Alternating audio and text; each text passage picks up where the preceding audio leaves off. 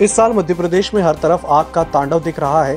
खेत, खलियान और जंगलों में आग की खबरें आ रही हैं। सतना ज़िले के जैतवारा कस्बे के पास मेहनती गाँव में एक खेत में गेहूँ की खड़ी फ़सल में आग लगी। इसे देखते ही देखते विकराल रूप ले लिया। हवा चलने के कारण ये तेज़ी से फैली और खेतों को अपनी चपेट में लेते हुए पास के सुहास गाँव तक जा पहुँची। ग्रामीणों ने जान जोखिम में डालकर आग पर काबू पाया, लेकिन तब तक बहुत देर हो चुकी थी। आग की लपटों ने 400 एकड़ में लगी खेत में खड़ी पकी हुई गेहूँ की फ़सल को अपनी चपेट में ले लिया।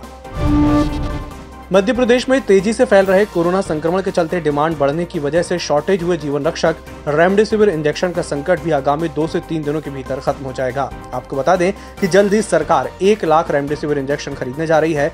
वहीं रोज़ाना की व्यवस्था के अनुसार लगातार दस से पंद्रह हज़ार इंजेक्शन मंगाए जा रहे हैं। आपको बता दें कि एक दिन पहले ही रेमडेसिविर के सैतालीस हज़ार डोज मंगाए गए हैं। मुख्यमंत्री शिवराज सिंह चौहान ने कोरोना को लेकर बड़ा बयान दिया है। उन्होंने कहा कि प्रदेश में हालात विकट हो गए हैं। ज़रूरत पड़ी तो रेमडेसिविर इंजेक्शन हेलीकॉप्टर से जिलों में पहुंचाएँगे। शिवराज ने कहा कि अब प्रदेश में मास्क को लेकर ज़्यादा सख्ती की जाएगी। मुख्यमंत्री शिवराज सिंह चौहान ने कहा कि ऑक्सीजन के इंतज़ाम में केंद्र सरकार सहयोग कर रही है, लेकिन समस्या सभी जगह है। रेल मंत्री पीयूष गोयल से भी चर्चा हुई है। ज़रूरत पड़ने पर राउरकेला और भिलाई आदि से रेल द्वारा ऑक्सीजन सिलेंडर बुलवाए जा सकते हैं। मध्य प्रदेश में कोरोना का संक्रमण बेकाबू हो गया है। बुधवार को कांग्रेस के विधायक मिंटो हॉल परिसर में गांधी प्रतिमा के सामने प्रदेश में स्वास्थ्य सेवाओं की बदहाली को लेकर धरने पर बैठे। विधायकों ने कहा कि प्रदेश के अस्पतालों में स्वास्थ्य सेवाएँ बदहाल है। ऑक्सीजन की कमी के कारण मरीजों की मौत हो रही है। बुधवार को कांग्रेस पीसीसी चीफ और पूर्व मुख्यमंत्री कमलनाथ दमोह पहुँचे। कमलनाथ ने दमोह में कांग्रेस प्रत्याशी अजय टंडन के समर्थन में रोड शो निकाला।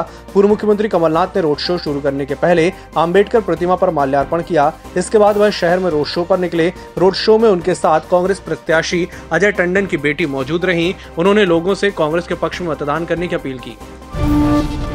राजधानी भोपाल में बढ़ते कोरोना संक्रमण के मामलों को देखते हुए स्वास्थ्य व्यवस्थाओं में इजाफा किया जा रहा है तो वहीं रेडक्रॉस हॉस्पिटल को भी कोविड केयर सेंटर बनाया जा रहा है। इसी को लेकर आज चिकित्सा शिक्षा मंत्री विश्वास सारंग एसीओ मोहम्मद सुलेमान और भोपाल कलेक्टर अविनाश लावनिया ने अस्पताल पहुंचकर व्यवस्थाओं का जायजा लिया। जबलपुर ज़िले में कोविड की रोकथाम और बचाव के लिए नियुक्त मध्य प्रदेश शासन के सहकारिता और लोक सेवा प्रबंधन मंत्री डॉक्टर अरविंद सिंह भदौरिया ने सर्किट हाउस में विधायकों के साथ क्राइसिस मैनेजमेंट की बैठक ली, जिसमें कोविड नियंत्रण पर चर्चा की गई। बैठक में विधायकों ने मंत्री से कहा कि जबलपुर के हालात बेकाबू हो गए और लाशों के ढेर लग रहे हैं। मध्य प्रदेश में जल्द ही मौसम अपना मिजाज बदल सकता है। अगले 24 घंटे में राज्य के कई जिलों में जोरदार बारिश हो सकती है। मौसम विभाग ने संभावना जताई है कि चार अलग अलग वेदर सिस्टम एक्टिव होने की वजह से 15 अप्रैल से राज्य के कई संभागों में बौछारें पड़ सकती हैं।